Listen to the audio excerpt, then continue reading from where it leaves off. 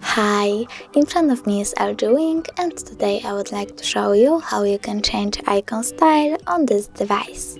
Firstly, open settings.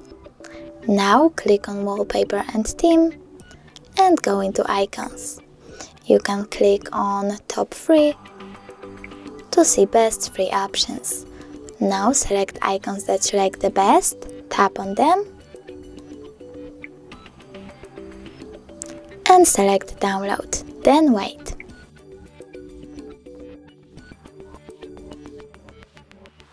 Lastly, click on apply. And now as you can see, style of my icons has changed. Thanks so much for watching, if you enjoyed this video, don't forget to leave a like, comment and subscribe. Bye!